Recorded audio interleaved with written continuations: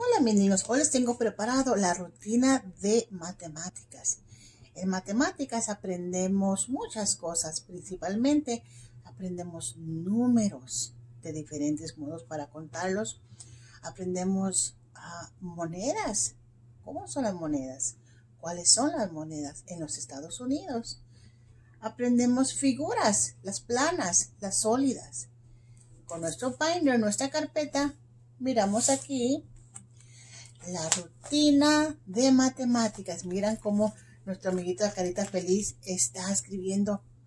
¿Qué están escribiendo? Ustedes piensan que está escribiendo letras o números.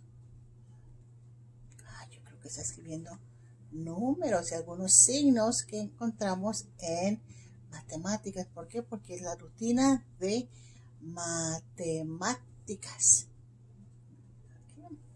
Aquí vamos a conocer un personaje súper importante para contar. Vamos a contar números del 0 al 10. Fácil. Contemos con nuestros deditos y miramos aquí. 0, 0. Aquí en el marco de 10 no hay nada porque 0 quiere decir que no hay nada en esta parte. 1, 1, uno, uno. Two, two, dos, uno, dos. Three, three, tres, uno, dos, tres. Four, four, one, two, three, four. Aquí hay cuatro. Una, dos, tres, cuatro. Five, five.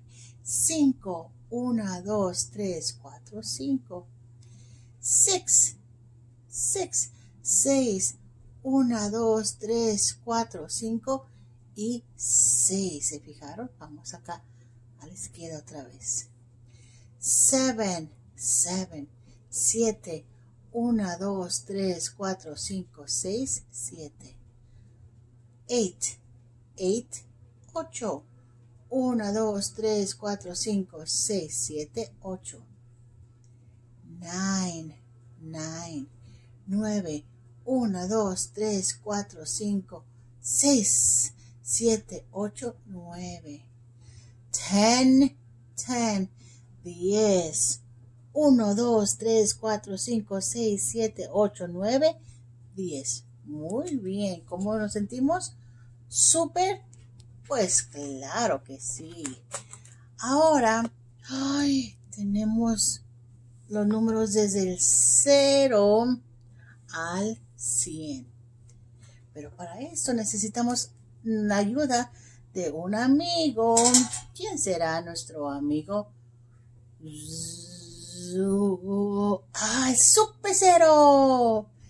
Cada vez que miramos el cero, vamos a decir super cero. Aquí el cero está para demostrar cada decena. Un grupo de 10 es una decena. Dos grupos de 10 son dos decenas. Grupo de 3 son tres decenas. Eso es para contar. Recuerden, cuando llegamos a, a la decena tenemos que decir super cero.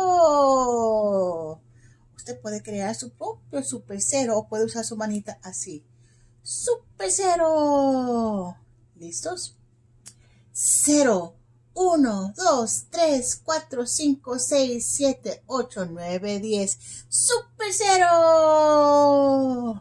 11, 12, 13, 14, 15, 16, 17, 18, 19, 20. ¡Super cero! 21, 22, 23, 24, 25, 26, 27, 28, 29, 30, super cero, 31, 32, 33, 34, 35, 36, 37, 38, 39, 40, super cero.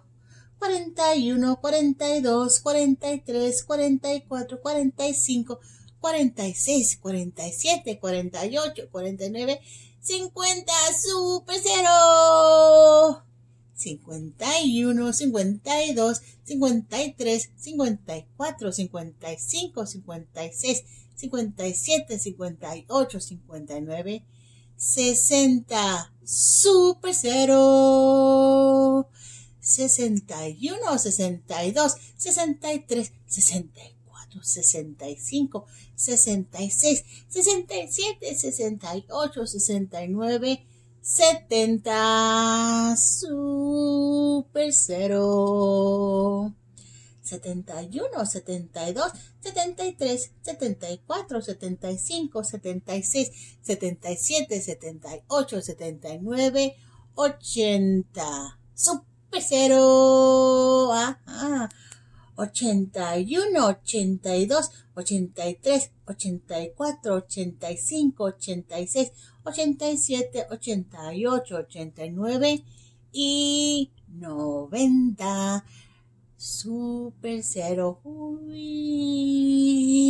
91, 92, 93, 94, 95, 96, 97, 98, 99 y 100. Mi número favorito es el 100. ¿Por qué? Porque tiene dos ceros. Y ahí quiere decir que hay 10 decenas. Aquí hay una centena porque hay 100. Gracias. A la página que sigue, miramos estos que están aquí, se llaman marcos de 10. Usted puede jugar usando con un marcador, poniendo aquí un número, por ejemplo, 5. Y va a dibujar con su marcador 1, 2, 3, 4, 5. Cualquier número, escoja 15. 15, ponga aquí 1, 2, 3, 4, 5, 6, 7, 8, 9, 10, 11, 12, 13, 14, 15. Haga diferentes jueguitos usando un número aquí y llenando las casitas en el marco de 10. Aquí, como nos explicaba Super Cero, tenemos aquí una decena, un grupo de 10. Pero antes de eso, miramos nuestra unidad. Un bloquecito solito es una unidad. Un color es una unidad. Un lápiz es una unidad. Diez bloquecitos es una decena. Diez colores es una decena. Diez marcadores es una decena. Ahora, diez grupos de diez o cien cositas es una centena. Grupo de cien, una centena. Por eso el super cero estaba súper feliz porque a él le gusta mucho el cien. Aquí dice unidad, centena, decena, unidad. Unidad es uno. Decena, un grupo de diez. Centena, un grupo de cien. El, por ejemplo, centena, decena, unidad, el número 923. Nueve centenas, dos decenas, una unidad. Nueve centenas con dos decenas y tres unidades. Poco a poco vamos a distinguir el valor de cada de cada número cuando los demos en clase. ¿Listos? Aquí miramos figuras, ¿verdad? Y yo sé que ustedes las saben.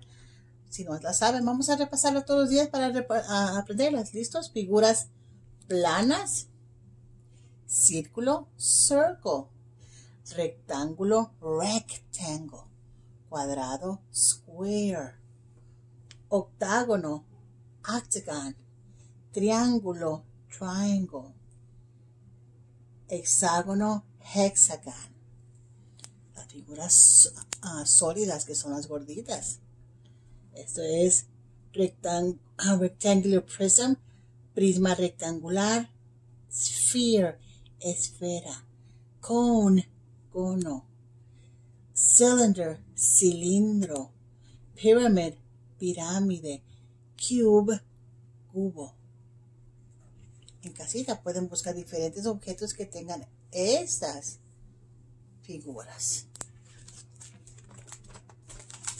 Las monedas. Repasamos. ¿Listo? Monedas en los Estados Unidos. Penny, penny, penny. Un centavo.